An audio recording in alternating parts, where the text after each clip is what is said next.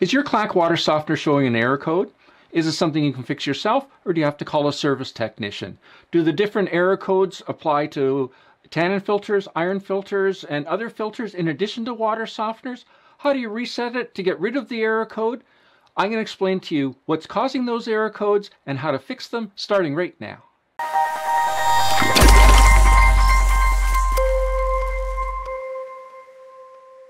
Hi, I'm Gary the Water Guy, and I simplify water filtration to help you conquer crappy water for your family. So this video is for you if you're a do-it-yourselfer, a plumber, a homeowner, a water filtration specialist, you're being confronted by error codes, and you want to figure out what to do about it. Fortunately, these Clack WS1 valve water softeners have diagnostics built in that will give different error codes for different problems within the water softener valve. So if you know how to interpret those codes, you can repair this water softener just like a pro. And by the way, it doesn't matter if it's a water softener, an iron filter, or a tannin filter, the codes and the remedies are all the same. Now, I definitely suggest before we go any further that you know how a water softener actually works. If you don't, check out my video. I'll put a link in the description down below. Now the error codes and the remedies I'm going to be discussing here today apply specifically to the Clack WS1 valve. So there's a number of companies that use this same valve. We use it for our Hume water filtration products, but also companies like Water Depot, uh, Viqua, Nelson, they all use the same valve. Now the faceplate, the front of it may look different, but how you can tell if you have a Clack valve or not is by looking at the top of the valve. So you can see these uh, bypasses, they're often a good tell. You can see that they're red, but they're also pointy on one end and flared out on the other end like an arrow. And that's one way to tell if it's a Clack valve. Another obvious place is this uh, injector housing. It's If it's on the top like this with a cap on the top, that tells you again that it's a Clack valve. And what we're talking about here today applies. So when you get an error code with a Clack valve, the first thing you need to do is make note of what the error code is. This one's a 101, and also clear that error code. It may just be a glitch in the system, a one-off uh, kind of thing that caused the error code, and, uh, and you may be fine just clearing the error code. So to do that, you remove the faceplate, take off the tabs on both sides, and then have a look here. So to clear the error code, you unplug it here. That's the where the power connection is. You unplug it and you need to leave it unplugged. It's say at least five seconds. I like to give it 30 seconds just to be on the safe side. So the reason this one was an error was because I had unplugged the motor for a bit of drama, right? And uh, so once you've, uh, in this case, fix the concern or just want to reset the valve, then you just plug this back in. And then it's going to go through its startup uh, procedure. And you can see it's gone back to the time. And uh, so it's cleared the error code. All right, so we'll go through each of the error codes one by one, and uh, I'll share the concern and the potential remedy. And I'm going to share my notes with you, make it a little bit easier uh, for both of us.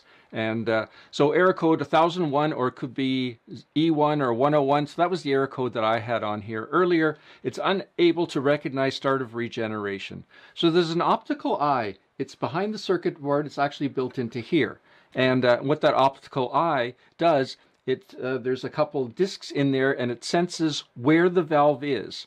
And uh, so what's happened here, it was uh, it couldn't sense where the valve was, so put it into this error code. And uh, it will try for a short time and then, like I say, it'll just give you an error. So the remedy is most likely something is blocking the reflective tape that's behind there.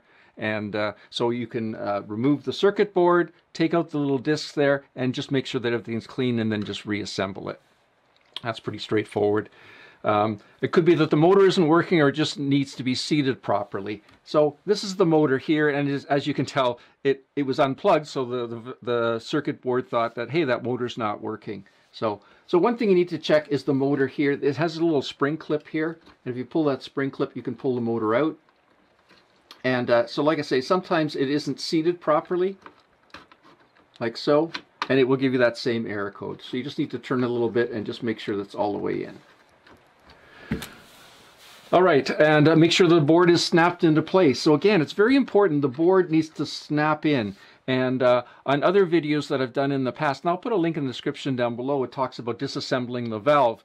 And uh, you have to be careful that there's a couple little uh, studs down at the bottom here and in the middle, uh, sorry, and at the sides at the top and a tab in the middle. You need to make sure that that board is snapped all the way in. If it's not snapped all the way in, again, you get that same uh, error code. Or it's a defective circuit board as uh, the optical sensor is part of the board, and, uh, and you can also get that. So the next one is error code 1002 or E2 or 102. So there's an unexpected stall. So what's happened is the, the valve is trying to go to the next cycle, but it can't go. So something is binding that valve. Something is holding it up from going to that next cycle. So the most common thing is something is actually stuck within the valve. So inside the valve, you've got this uh, seal pack and you've got a piston. This is the, the main piston and this is the brine piston that slides inside here. So the tolerances are very tight, and you can see this is kind of a basket design. So if you have a lot of iron in your water, and it can build up in that basket and it can start to bind that piston. And uh, so that's that's what's causing the binding in this. So what you need to do is you need to open up the valve, disassemble it, and at least clean it out. Uh, once you've cleaned it out and reassembled it, it might be okay. Um, by the way, I have a great YouTube video that I'll put a link in the description down below that shows you how to do that disassembly. Um, it might be okay. If it's not okay, then you actually need to replace the piston and the seal pack. So once you've done the work to clean out the valve or you've replaced the uh, pistons and the seal pack, you need to resync the valve. Actually, after pretty much every troubleshooting procedure that you've done on the valve, you need to resync it. And to do that is simple. Again, you just unplug this. Now you just need to wait about five seconds or so to resync it and then you can plug it back in like so and then you can hear it uh, resyncing.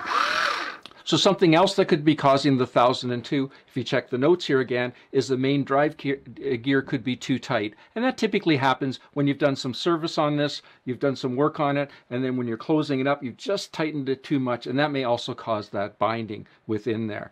Um, also, improper voltage could cause the same problem. So again, make sure you check that uh, that you've got the correct uh, voltage going on, or there isn't something going on with the hydro in your home cottage or cabin.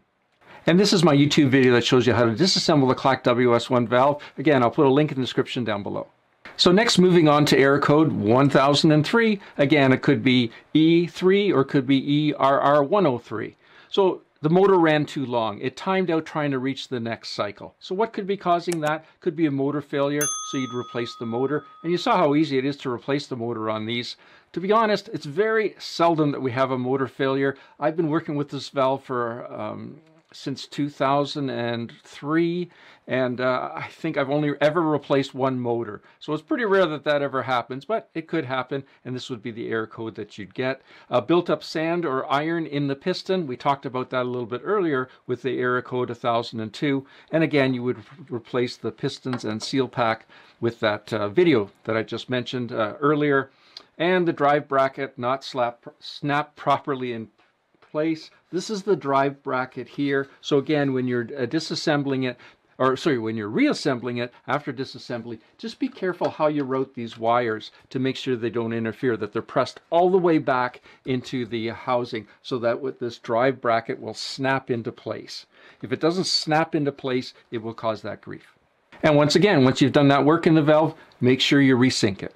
You can get replacement parts for your Clack WS1 water softener at our websites, waterestore.com in the US, waterestore.ca in Canada. We offer free shipping and discount pricing. I'll put a link in the description down below. So next we go to error code 1004. Again, it could be showing E4. So what that's telling is a control valve motor ran too long drive bracket not snapped in properly, snap it in and resync. Again, very similar to 1003. Each error code gives you a little bit more information, but uh, again, motor might have ran too long, unable to find home position. Again, snap that, uh, make sure that everything is assembled correctly, and then be sure to resync the valve. So then we get to error code 1006 or E6 or 106. And what this one's telling us is that it's valve not recognizing the MAV. So the MAV is for multiple valves.